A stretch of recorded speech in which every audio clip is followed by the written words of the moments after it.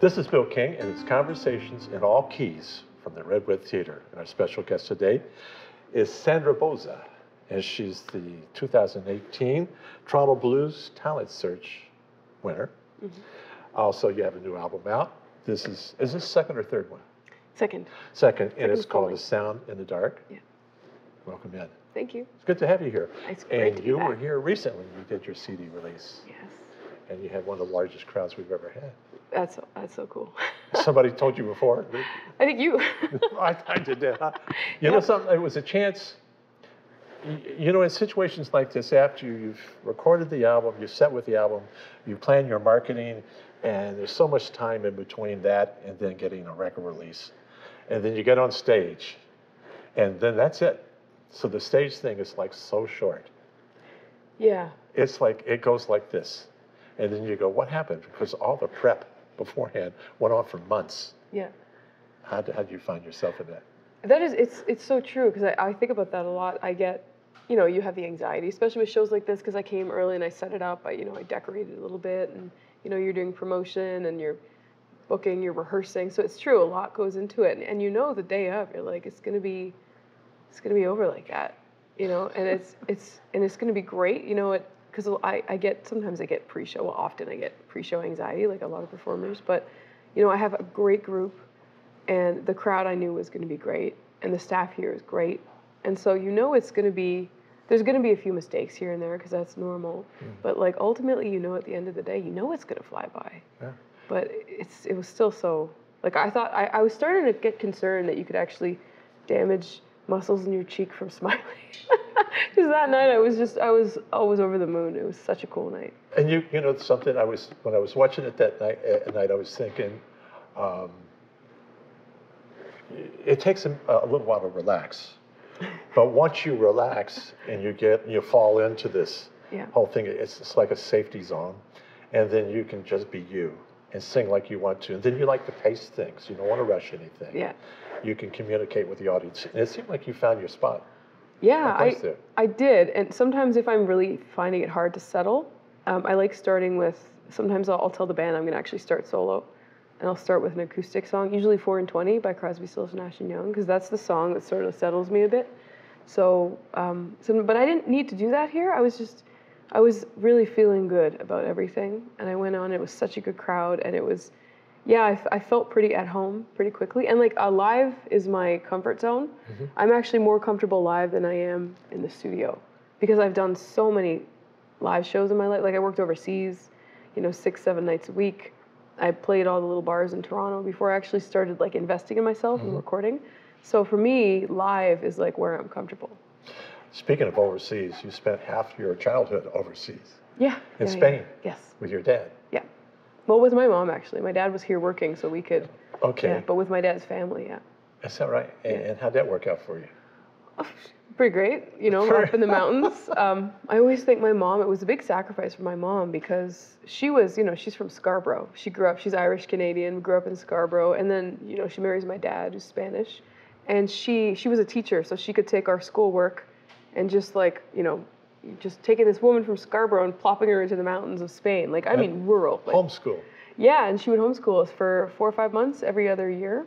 So it was, you know, was, and we had like my sister and I had each other, and we would run around the mountain and you know explore. But my mom was like, just there, and like my family, you know, my my um, grandparents and my aunt, um, they loved her, and I think that they knew what she was doing for us, so that we could know our family. So that meant a lot to them. So they they loved her. It's, and it's also the origins of, in many ways, songwriting and Yeah. that region of the world. Uh, points to Spain Yeah. in many ways. Um, Yeah. When you start looking at the history of songs and how songs, storytelling and how songs come together in. Africa and other places, but Yeah. there's something about Andalusia Yeah. and places like this where when you go back to history books and you keep tracing back, you go, wow, this is like where their first scripted songs and Yeah, well, I mean, it's it's it's a Celtic region, right? Galicia, like you know, we have bagpipes, and like people think of Spain, they think of like flamenco, and which is I love flamenco, but that part of Spain, it's Celtic, and there's such an interesting storytelling history there, and Yeah. like a lot of the gallego, like we do a gallego song in this album, and it's one of my favorite artists, Carlos Nunez, did this song called um, "A Lavandera da Noite," and so we do a, a, a version of it and it's just it's it's a really the way that you know the, the wording it's so lyrical in the storytelling in that tradition and the sound of the the music is lyrical. Like it's just mm-hmm. everything is it's it's really narrative you know? And it's just i think that i sort of subconsciously pull from that style in my music. Now, were you listening to Spanish singers when you were young? i did yeah. More more north american probably because we were influenced by my mom mostly right, because okay. my dad worked a lot. So my mom was always we always had 1050 chum on the radio and she would drill us like if a song came on the radio she'd be like who is this? The beatles what album? Like so we like i didn't even know there was modern music until i went to school. I think it was like grade one. I'd never heard of the And where kids did- on where the did you go to school? st jude's at like finch and weston. Okay. yeah. And then uh, after that, you went, after that we moved to markham when i was in high school okay. Um, and then I went to school in Hamilton, and then I moved to Scotland to do my master's and. Your master's in what? museum studies. Very different. Okay. Very, very different. Okay, and Yeah. was- this was something that was a- of an interest to you. yeah. As oh, you yeah. were, okay. Yeah. I still. I, I think I always loved the parallels in storytelling in history. That's why I loved history Yeah. because it was just stories. Like what what could be better? Because it was sort of it was a little bit drummed into us that you couldn't do music as a career when we were kids. You know, it was sort of my my my parents wanted stability for us, so it was like you can't do music. My sister and I now are both in music, so but we both kind of looked at different things to go into. So history was a huge passion of mine. It still is. I'm still a huge history nerd, but I love the storytelling in history, and that, that you know, it was just to me, it was like if I worked in museums, it's just like a career of stories, you know, and Somebody telling else's. somebody else's stories, our story, Yeah. you know. I mean, and I see the parallels in music of that. Like what I love about music is that somebody could write a song like 20, 30, 50 years ago about an emotion that they're having, and then you could listen to that song today and completely identify with the wording, you know, and that this person feels like this and I feel exactly like this. It's like a photo Yeah, yeah, yeah. of a moment. It's capturing a certain moment Yeah. in time, Yeah, um, but a different way of expressing themselves. yeah. You know, um, songwriting. This is something that you must have just said. Uh, were, there, were there songwriters when you were uh, when you were young? Were there songs that you said, "I'd like to take this apart because I want to," you know, there's something about this that Yeah, that uh, boy, it, it plays to me. Neil Young. Neil Young. Yeah, I'm a huge Neil Young fan. I've seen him seven times, and um, there's like certain spiritual moments you have with certain songs, you know. And my first musical spiritual moment was Neil Young listening to Old Man. I remember my mom had this old cassette tape, and it had like a bunch of different like, random, random songs, like Neil Young and uh, Total Eclipse of the Heart, and just completely random combinations. But I remember I heard Old Man, and I remember thinking like, what is this it's just such atmosphere right and i wanted to take that apart because i when i started writing songs um, i think i was really trying trying to challenge the whole chick with a guitar thing which is you know just ego because there's some amazing women that write songs and hit joni mitchell you know i mean but it was just ego i wanted to just i hated that trope you know um, and because every time I picked up a guitar and wanted to sing, somebody would say, "Are you going to do a Jewel song?" And I just, another super talented artist, but it was just ego, right? It was total ego. So I always tried to write more complicated, like over complicated, you know. So you'd lose the whole, A lot of words. yeah, a lot of words, a lot of um, time signatures, a lot of everything. Just so you're missing. And then I remember hearing this Neil Young song, and it was so simple, but it had such atmosphere. And like to achieve that simplicity with so with with so to achieve that atmosphere with such simplicity was just powerful. So I wanted to dig that apart. And it's fun to play with words and, and sentences. Uh, a lot of the great writers, like Hemingway, would toil over a sentence Yeah. for days Yeah. And rearrange words in it and stuff like that. With singers, especially singer-songwriter, it's also finding um, the note, how the note wraps itself around, or how the word wraps itself around a, a tone or a note. Yeah. And that is a whole different thing, Yeah. you know. So Yeah. you must, you go, okay, this word is just ridiculous. Yeah. I do play around with with words. Words really mean a lot to me. Like I Yeah. think I remember. Do you, you know Harry Manx? Yeah. Mm-hmm. I love Harry Manx, and I heard him speak at this thing um, at, the Blue Summit a few years ago, and I remember him saying, "I don't. I never waste a word. There's no throwaway words." Right. And I love that because I've always felt that way. Um, like you, I so I, like if there's a word I don't like, it still sits with me. It bothers me, and like I don't like to just put it in because it fits or or it rhymes, or it you know uh, fits like um, phonetically. Like I, I, it has to mean something. It has to say something. You know, it has to flow. Yeah. Yeah. You know, we were talking about words and everything. Um, I find that, you know, I would get people send tapes to me or recordings and stuff, and and this is my new record, and this is my thing, and I get like 30 seconds in, and I, I hate the lyric because of exactly that. Yeah. Because I think there's too much throwaway in the song, Yeah. Oh yeah. I and then I figure, time. to me, the song is a throwaway. It does. Well, it kind of, it kind of, for me, like I, I this, it kind of kills everything. Because then I spend the next like 30 seconds or 60 seconds going like, what does that mean? But, but what? But why? you know, it does. It kind of, and uh, there's other times where it's the direct opposite, where you hear a line and you're like, oh my god, what a line, what a Yeah. lyric. Like I love that. And you know, I've had, like, I'm not at all comparing myself to the greatest songwriters in history, but like I, you know, if somebody comments on like, man, what a lyric that was, that is like the hugest It's- compliment. Yeah. Or if somebody somebody said to me once, every time I listen, I hear a different lyric that hits me, and that things like that are huge compliments. And you, you also think about, you know, it comes to mind, you go, whoa, the person who wrote this, that they must think the same thing, or I wonder if they recognize that. Because what they've just got is a, something that's, it's sealed and Yeah, it's the deal. yeah. You know, I, I love that. Um, singing, beyond songwriting, uh, you had a great voice.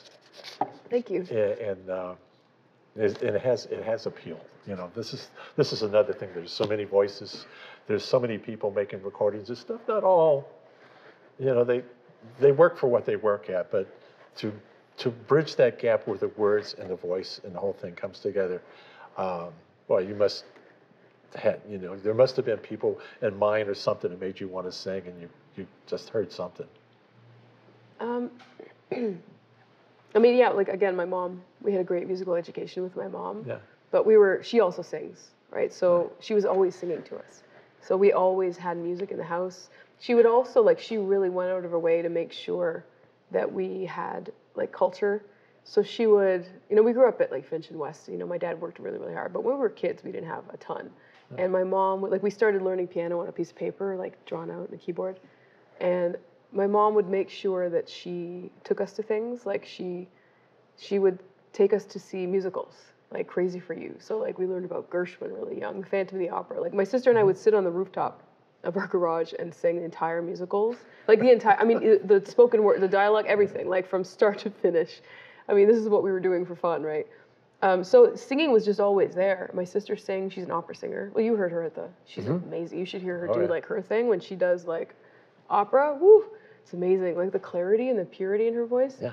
Um, sorry, sidetracked. But so yeah, it was just singing. There was it was just always there. And then we had singers that we liked. You know that that we'd listen to, like Joni Mitchell. My mom always listened to Joni Mitchell. Um, but as far as like hearing singers then that I wanted to sort of emulate, I'd say the first time I heard a singer that I wanted to sing like was Ella Fitzgerald. Mm-hmm. Because my mom wasn't really, she didn't really a lot of jazz. But when I discovered jazz, I remember Ella Fitzgerald was just like, I just couldn't get enough. And I wanted to sing everything like it was Ella Fitzgerald. And I remember once we were trying to sing something for some family function and I was having trouble like getting getting the, the phrase or something and my sister was trying to give me tips. And she said, okay, try this. Sing it like it's jazz. And I sang it and I got it like that. And she said, it's because you're comfortable. Because I was, Yeah. because I sang, just sang along to Ella Fitzgerald like constantly. So my voice was comfortable in that place, right? Like you hear so many like pop singers like Amy Winehouse, you know, she had such that jazz tone, that little vibrato that she just, that trails at the It's, end. but she, she also had a dad that had quite the collection. yeah, yeah. And he, I think he raised her on a lot of jazz too. Yeah. Yeah. And, you know, it seemed like when she went out, well, when you first heard her, and she was on the early uh, TV shows, she was on with Jools Holland Yeah. on Yeah. uh, BBC. Yeah. And she'd be singing, you know, rhythm and blues, Yeah. a bit that. And then she'd sing a jazz standard and stuff. Yeah. So she had pretty good grounding in that. And she sort of, you know, and, and it sort of played well for her when they made the change over to pop into the small Yeah. group and, Yeah. and that whole sound. Yeah. So how do you find yourself in blues? it's, I, I ask myself all the time. Um, I, I don't know. I just always like I liked blues. I've always loved listening to blues, but I never called myself a blues singer, and I I, I never wanted to, um, because I, I didn't. I wanted to be very careful about associating myself with blues music because it came from a very specific place. And so I never called myself a blues singer, but I kept getting called a blues singer. Even like my very first album that I don't talk about very much, I recorded in Vancouver, an EP. And it's not at all, there's nothing blues about it. There's nothing, you know, it's like almost Canadiana. And somebody was like, wow, what a great blues singer. I'm like, what?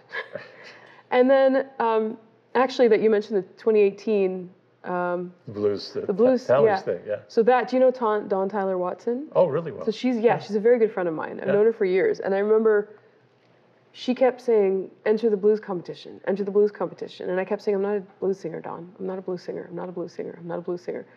And finally, in 2018, I entered that thing to shut her up, so that she would leave me alone. yeah. And so I, you know, paid my ten dollars and I entered the competition, and then I won it. And then she, now she'll never show up. yeah, then you had to go out and record every Muddy Waters song.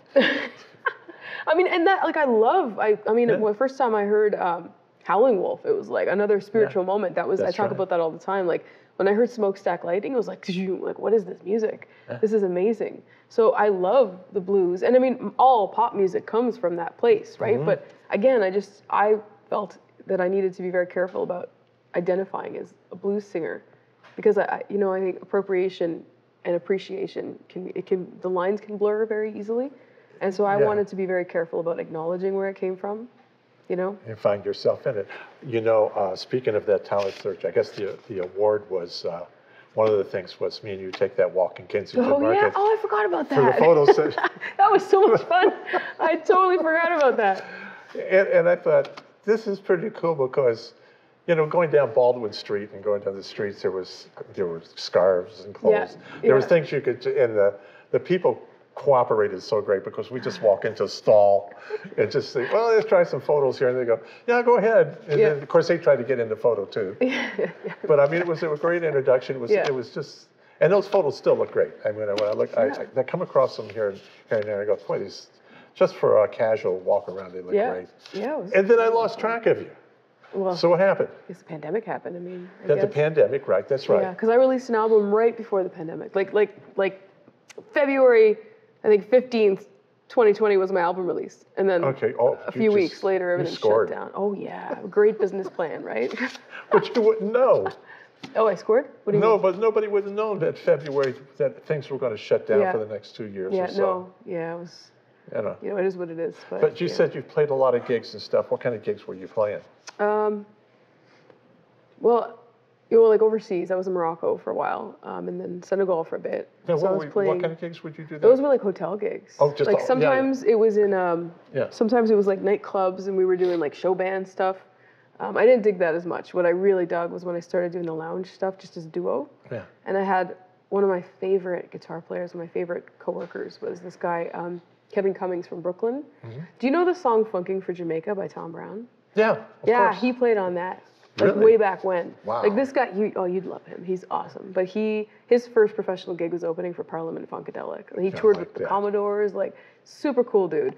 And I remember we met, and we played like that night. We met at the sound check, and then we played that night, and it was like that. Like we, I think we rehearsed in two years. We rehearsed like one time, because we just knew all the same stuff. But we wrote stuff on, Mm-hmm. on the spot. Right. And so it was just it was just so freeing playing with him because he knew where I was gonna go. Um, I knew where he was gonna go. We we did all the same covers. He sings, he plays piano, like, and we just kind of were musical brain twins a little bit. Like we made some really cool stuff. But so those gigs were my favorite. Just and I still have a really great duo partner in Toronto too, Mike Friedman. He's a jazz guy. And you do that still here? Same thing, yeah. Yeah. Um, so just kind of you know like cocktail parties and receptions and just But to, this is this is the, con- the conversation I had with Diana Krall in 1998, and this is just when things are starting to move for her. yeah. And she was talking about I think it was she would uh, she would uh, take the train to Philadelphia every every I guess three nights a week, and play in a hotel lounge, and she would sit at the piano. and Yeah. Nobody bothered her. Yeah. And she just sang the Those are songs. the best gigs, And yeah. She goes, nobody paid attention. I just played and I learned all these songs. Yeah. And then I worked out these harmonies. She goes, so I looked at that. Every time I went in, I, I said, I'm not going to kill any time here. I'm just going to look at this as rehearsal. and Yeah, a paid it- rehearsal. it, that's exactly what it was. It was great. I mean, and we wrote we wrote songs like on the spot there. Like some of the songs on my last album were written like as jams when the bar was empty. Mm-hmm. We, would just jam and like this, this is great. This is cool too. Now, what's this Halls Island retreat you did, or Halls artist? Island. Um, it was artist in residency? Artist, yeah, it was a residency. Where's Halls Island? It's just off of where is it? Haliburton. It's in Okay. Haliburton on Koshlong Lake. Really cool. And what were you doing? I was just writing music for ten days, just like on this island by myself. It was so cool. What were you doing most of the time? Writing tunes and looking out and going, oh, goodness. Swimming. Swimming. wow, there's a black bear. I love swimming. Oh yeah. No, it was an island. There was nothing, No, on, the nothing island. on the island. Nothing. Oh, Just, that had to be good. Yeah, that's actually Sound in the Dark was written because of that, because I was on this island by Right. myself and I went down one night to go swimming and I heard a noise. Have you heard this story? No. I tell this story every time I play this song, except for at the album release, which is funny. Okay. So, A Sound in the Dark, I, I went and decided I was going to go skinny dipping because this is like an island. There's nobody there, right? Perfect. So I go down and like it's beautiful clear sky, and I was going to just go for a, a swim. And then I get in the water and it was perfect. And then I was in the water for like two seconds and I heard a sound and I got freaked out and I ran back up to the cabin. And then I was so angry at myself because it was this beautiful night and it was probably nothing. It was probably a fish jumping. Like there were no black bears on this island. So I was so mad at myself. So I wrote that song like that night out of, you know, anger. Because well, I started thinking about all the other times that like fear has stopped me. Yeah. You know, like I'm 40 years old and I've only just started really investing in my career. And I think a lot of that is like fear of failure, fear of success, the same thing. Yeah. And so I started thinking about fear stopping me from so many things in my life. And so, yeah, I mean, I know it was just a skinny dipping experience, but it started, you know, it started spiraling But- into all the other things. But you know, something you have to come to terms with that because I think it's something that most people feel like they have to follow a certain path, Mm-hmm. and they're not going to step out and, and uh, take a chance and believe in themselves enough. Yeah. But once you get to that, I, I think what it is, you take 40 and you double 40, you make 80. And then a person at 80 will go, oh my God, what was I doing? I should have just jumped in. Yeah. And so you sort of have to have that mindset saying that at 80, that person's going to think, oh, I missed out. What, what was going on? Yeah. I had nothing to fear, Yeah. you know, because you really don't pay any attention to the, the stuff around you that may uh, push, push against that. Yeah. You just do it, Yeah. you know. Is this something that's, Are you feel motivated not just to say, I'm going to do this and not be distracted or, Usually, yeah, for the most part. For I the mean, most it's part? you know, it's it's it's hard sometimes to not get you know a little demoralized or, or stuck in that fear again. You know, I mean, I'm human. We're Yeah. all human, but definitely more so than than I used to. Yeah. to. now you still playing a lot or still doing? Yeah, Okay. yeah, um, yeah. I'm trying to play.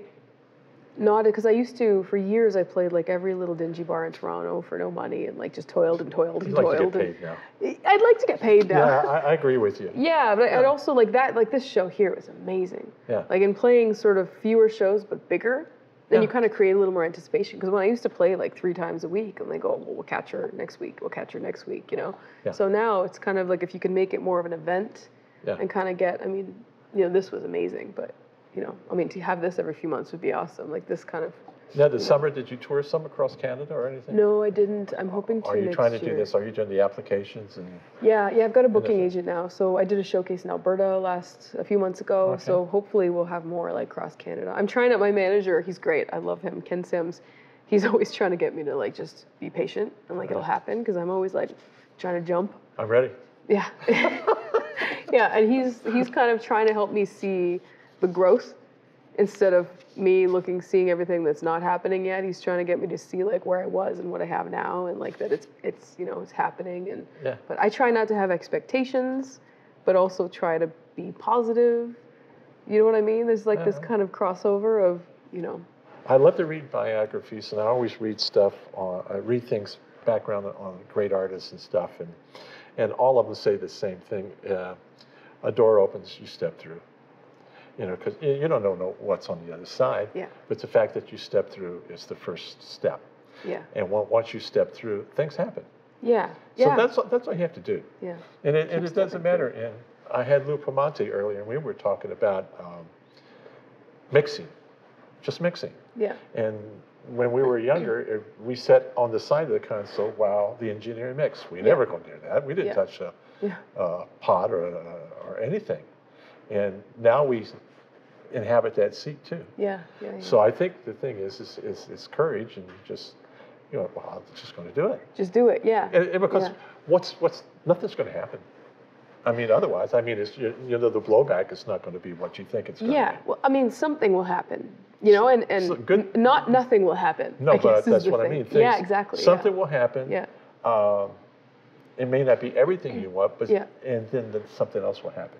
well, I'm really trying to get more into that headspace of like, yeah, like that something will happen. It might not be what you want, but it will be something that you can learn from either Yeah. way.